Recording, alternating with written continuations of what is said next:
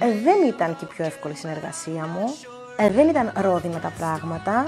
Υπήρχαν φάσεις που ζορίστηκα αρκετά.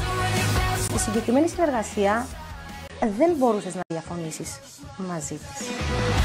Για να πάρω τη συγκεκριμένη δουλειά, το συγκεκριμένο άνθρωπο, έπρεπε να περάσω και από άλλα στάδια. Έπρεπε δηλαδή να περάσεις από κάποιο καναπέ για να πάρεις κάποια δουλειά.